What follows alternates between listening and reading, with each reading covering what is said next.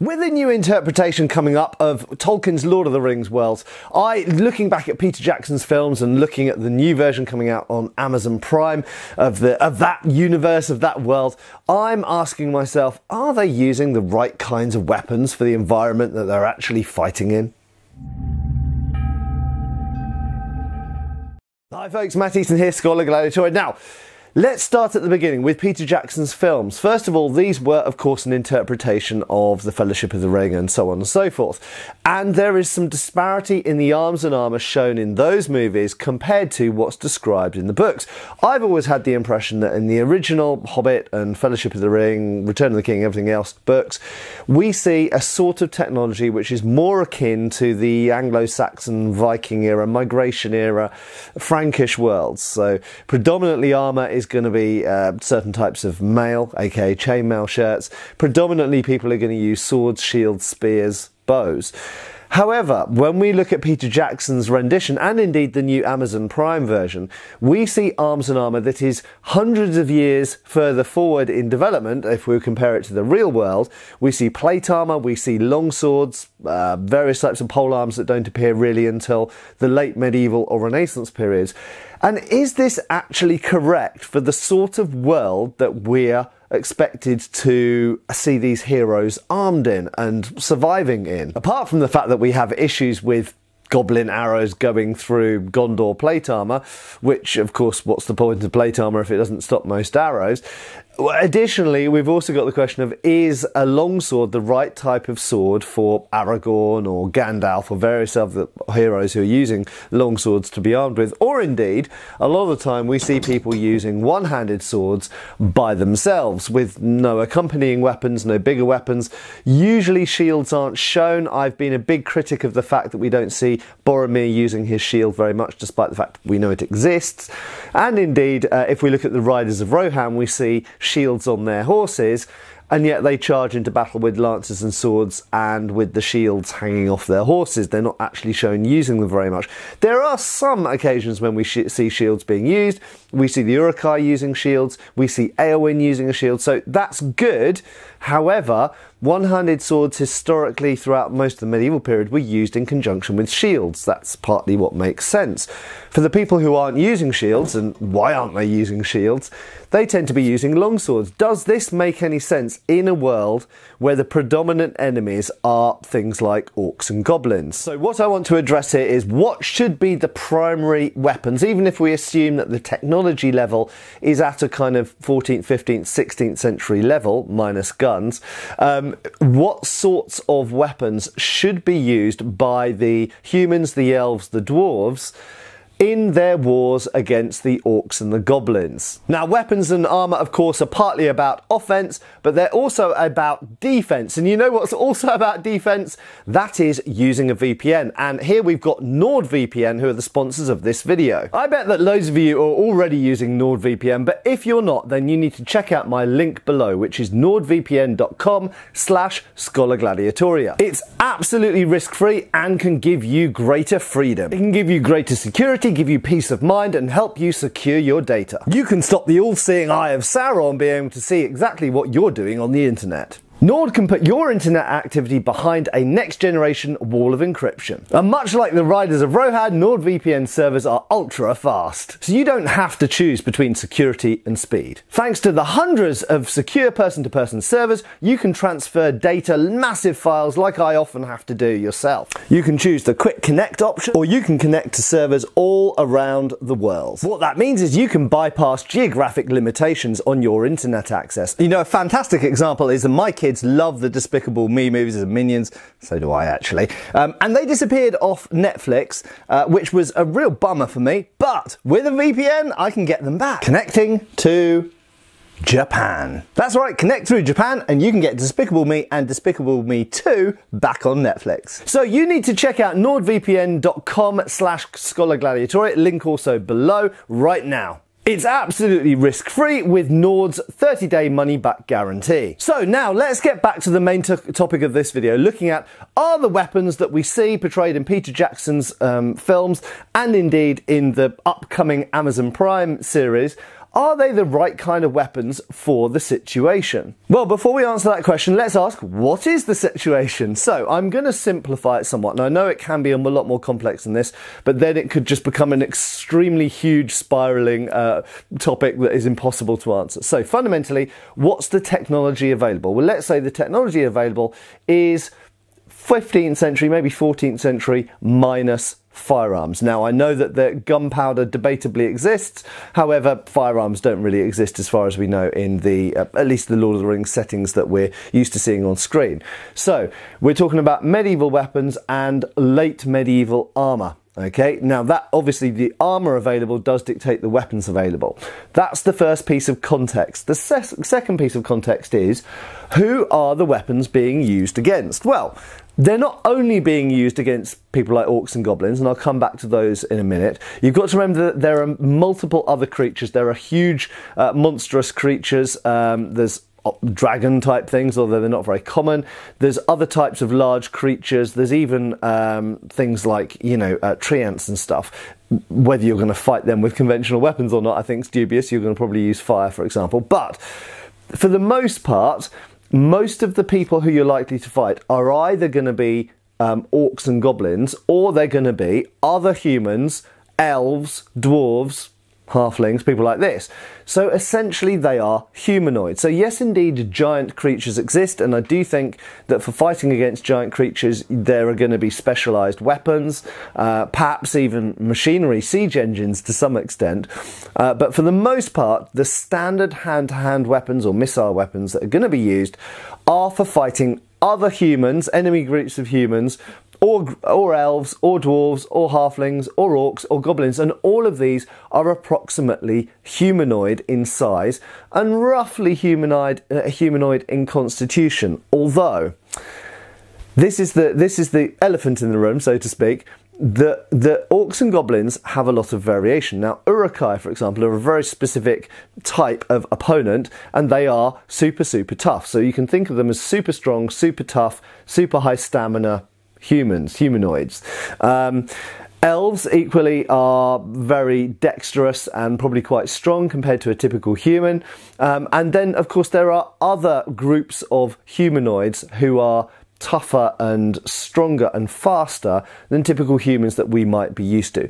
Does that make an enormous difference to the type of weapons that might be used? I kind of don't think so. Although, what we might see, for example, are swords, typical swords. If we just take an arming sword, for example, we might find that depending on the users of them, if we are looking at people who are stronger than a typical human in our world, uh, and perhaps more de- dexterous as well, then we might see weapons which are actually slightly bigger, slightly heavier, um, perhaps slightly longer. So, for example, rapiers in our world are pretty long type of sword, but we might find that um, elves, for example, if they were using rapiers, might use particularly long bladed rapiers because they're able to manage them, or indeed dwarves who are very strong you might find that their axes and in fact we do find this basically don't we in in the uh, kind of artistic renditions of viking axes hammers and warhammers things like that tend to be bigger than a typical human axe. So when we regard a Dane axe as one of the biggest types of axe that might be typically used in medieval history, we might find that um, uh, dwarven axes are bigger, thicker, therefore heavier, because the dwarves can handle them. But equally, they are, of course, shorter, so they'll have shorter shafts. So there are individual physical capabilities, whether it's in dexterity, height, stature, strength, that dictate the sh- shape and size of the weapons. But fundamentally, we wouldn't necessarily see completely different types of weapons. So the thing that I kind of come around to thinking is that what this question is actually about is in a world inhabited by hordes of dwarves, um, hordes of um, orcs and goblins, would you necessarily choose these types of typical weapons that we saw in medieval Europe? So I think the basic answer is yes, you would see the same approximate range of medieval weapons, although slightly, as mentioned, in slightly different weights and statures and sizes because of the different uh, physical abilities of the different people using them. But I think that different weapon sets would be preferred or less preferred based on who you were and what you were doing. What do I mean by that? Well, if you were a, a citizen of Gondor and uh, you you weren't at war and you were going about your normally normal daily business, you were equivalent of a knight or uh, a merchant or whatever, or indeed Rohan or anything like that, then indeed I think we'd see very very similar armament to medieval Europe because it's a similar situation. However, as soon as you're at war with a group of people, say for example, orcs and goblins, then that entirely changes things because now you're fighting against hordes of humanoids who have quite different physical um, stature and abilities and tendencies and ways of fighting to humans or elves. So, quite simply, a longsword, if we look at uh, Aragorn or Strider, for example, a longsword walking around in the wilderness expecting to run into goblins, a longsword with minimal armour might seem like a pretty bad choice because a lot of the time when you fight, you are going to be outnumbered. How often are you going to encounter one single goblin and have a duel with them? Mm as far as I can tell, not very often. Most likely, you're going to end up running into a group of goblins. Now, is a longsword a good weapon for fighting against a group of goblins? I won't say it's a terrible weapon. However, there are probably better options. I would argue that a better option would be a sword and a shield, for example. Okay, so if I grab uh, even a buckler, um, so a sword, uh, shield or a buckler, and bucklers can be carried pretty conveniently if you don't carry a large shield. I'd say a large shield's better because what do goblins often do? They often shoot arrows at you, um, and a shield, of course, can protect you against missiles in a way that a sword and buckler can't do so effectively, and certainly a sword by itself can't do it very effectively, um, because the shield not only provides an active defense but also a passive defense by just being there. But nevertheless, a sword and buckler or a sword and shield, I think, are going to be much better against fighting against multiple opponents. And in fact, if we look at the real historical world, Indeed, sword and buckler, we see it in European treatises, how to fight multiple opponents. You can even hold a dagger in the buckler hand at the same time. And if we go to India, for example, we can see multiple opponent training there or even paired swords. A pair of swords are quite good. I don't have another arming sword here, but let's use a mace instead. Paired weapons, one in each hand, is a way of fighting multiple opponents. The other option for fighting multiple opponents would be a polearm or something longer. Okay, so indeed, a Dane axe, much, much better at engaging people at long range. What do goblins often have?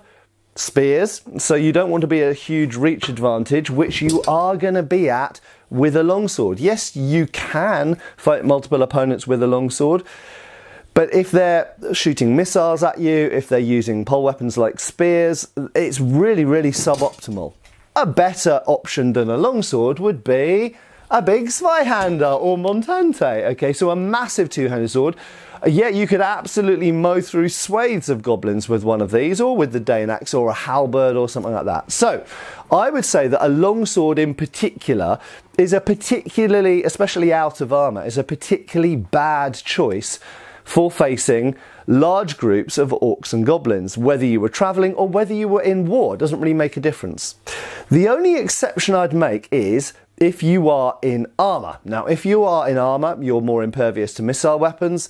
You're more impervious to incidental pokes from a spear, things like this. So perhaps if you were wearing quite complete plate armour, or even head to foot mail for that matter, with a great helm, for example, then maybe you could get away with using a longsword um, a little bit more uh, effectively. But traveling around in armor, you can't usually wear armor all the time. So, contrary to whatever video games you've played or role playing games you played, the fact is that plate armour is somewhat uncomfortable and inconvenient to wear. There are examples from history, for example, the Agincourt campaign, when people were specifically told to keep their armour on for a prolonged period of time because action was imminent at any point. That is unusual. However, it comes at huge drawbacks. It makes doing all sorts of things very difficult, even sleeping difficult. Certainly things like crossing rivers or climbing over things difficult. Um, and, you know, it's just generally unpleasant. So, Armour is not normally kept on all the time. So therefore, if you're not wearing full armour, I think a longsword is a bad choice for most people. Um, if it doesn't have other things, you know, if it's not, for example, a backup to a spear or a bow. Now, let's just talk about Aragorn's other armament here, which is a bow. Um, now, bows I think are pretty good. Obviously, you're using them predominantly for hunting and for gathering food. But defensive terms, yes, if you are a good archer and you've got a pretty good um, high rate of fire, then indeed they're fairly effective against a large group of approaching enemies. And really, if we're dealing with a, um, a, fighting a numerous enemy, so enemy who are pretty much always outnumbering you or the group that you're in, then rate of fire is king. And so I think it is important to point out that bows in this kind of world building context are vastly more effective than crossbows.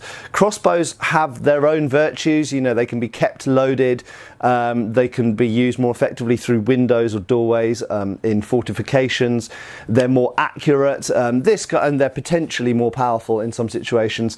Um, so they have all sorts of advantages, crossbows, but in this particular scenario, fighting against massed opponents who might be surrounding you um, at close range, charging in regardless of the risk, I think crossbows are a particularly bad choice. Bows are better. High rate of fire. Pepper them with arrows.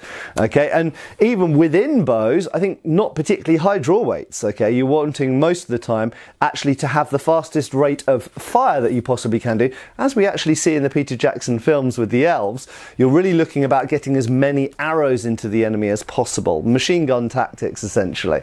Um, so what you're looking to do, if we liken it to the real world, is you're looking to stop that banzai charge essentially, because that's what we're going to be expecting of um, goblins and orcs predominantly.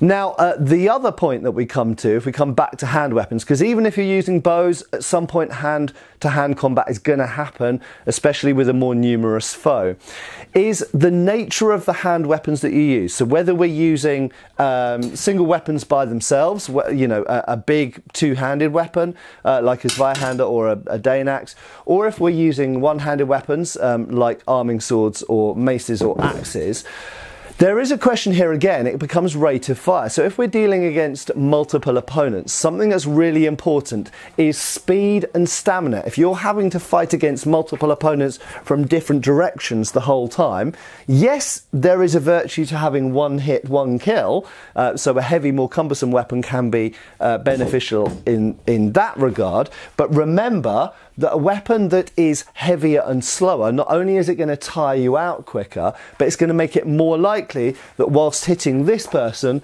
that person over there manages to get a swing in that you don't have time to defend or hit them.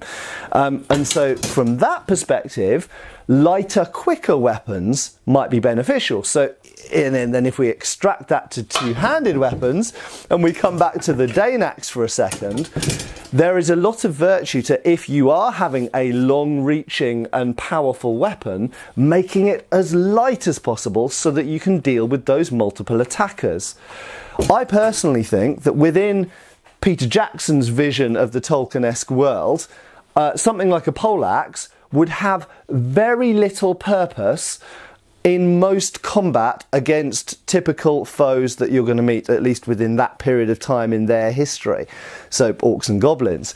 Because it's a relatively slow, relatively short reaching because of the way that you tend to hold the poleaxe. You tend not to hold it at the end like a Dane axe um, or a spear or quarterstaff. You tend to hold it nearer the middle and use both ends. So, yes, you do have both ends, but it's a short range, relatively heavy, relatively cumbersome weapon that's primarily designed for defeating armour. In this situation, you're dealing with multiple, relatively unarmoured opponents. The only exception would be Uruk-hai and trolls. Okay, so if we're now dealing with opponents who are, you know, giants, various types of troll, cave troll, rock troll, whatever, Uruk-hai, who are really, really robust that changes the game somewhat. And it also makes it more complicated because if you know that you're now facing uh, massed goblins and orcs, but there are also going to be some trolls and Uruk-hai as well. What do you do? Because the goblins and the orcs, well, you might think, I want uh, really quick light weapons that can occupy many people at the same time uh, and also cover against missile weapons. So against them, you might go, my, IT, my ideal armament is going to be sword and buckler or sword and shield, and I can occupy lots of them at the same time, uh, do lots and lots of cuts and thrusts wherever I want against different opponents while covering different lines at the same time and potentially knocking aside a thrown spear, and I can do all of this really, really quickly. but now there's a cave troll in front of me.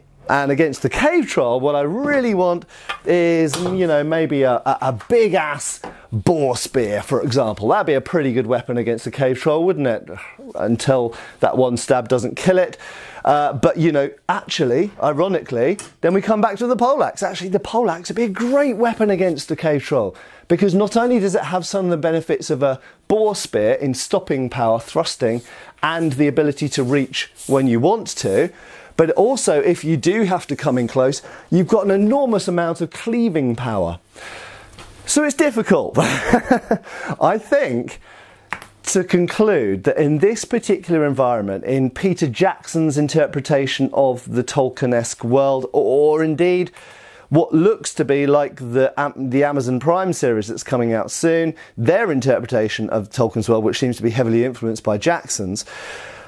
Uh, so it's late medieval, but you're dealing with foes, some of whom are small, not that tough, but extremely numerous. But a lot of your other foes are going to be massive and extremely robust. What do you do when you've got such a diverse range of opponents? And I think multiple weapons is the answer. So by and large, I think you'd see a lot of people wearing a decent amount of armor. I think armor is incredibly important. You'd wear a, almost as much armor as you can wear that doesn't encumber you too much for the situation. Secondly, I think you would definitely see large weapons, particularly pole arms. So we're talking about pole axe type things, Dane axe type things, um, spears, boar spears, halberds, zweihanders, things like this. Absolutely, you're going to see those as primary weapons. Archers are going to pr prefer bows to crossbows and they're going to use them in very high rate of fire in the highest draw weights that they can manage and still have a good rate of fire. So similar to Hundred Years' War and Wars of the Roses longbow tactics, I would say, uh, or even Mongolian or uh, Manchu archers as well, who were dealing with the same things. They have to overcome armor, but they also want a good rate of fire. Um, and in terms of hand weapons, yes, aside from the pole arms, I think you're going to have to have, for dealing with those sneaky little goblins in huge numbers, something like sword and buckler, sword and shield, paired swords, sword and dagger, um, weapons that are quick and nimble that you can wear as backup sidearms. They're quick to deploy, and you can occupy two directions at least at the same time with them and fight against multiple opponents. Anyway, maybe you've got completely different opinions on this. What are your ideas and thoughts? How do you think that weapons and armor would evolve in a fantasy environment where many of your opponents are not very big but super numerous? and not armored, and some of your opponents are really big and really tough, and you have to prepare for fighting both of those at the drop of a hat and at any moment, and they might be mixed together as well. So I think it's difficult and very challenging and very different to the historical reality because remember, in historical reality, humans pretty much only fought other humans and horses, you could say as well. But fundamentally, the weapons that evolved in our history, which they copy in fantasy environments, the weapons that evolved in our history are basically just for killing other humans. And very often you'll find they're quite inadequate for fighting against something like a troll. Looking forward to seeing your comments and thoughts below this video. Uh, please uh, share it around, subscribe if you haven't done already, give us a thumbs up, give us a like, and I hope I'll see you back on the channel again really soon. Cheers, folks!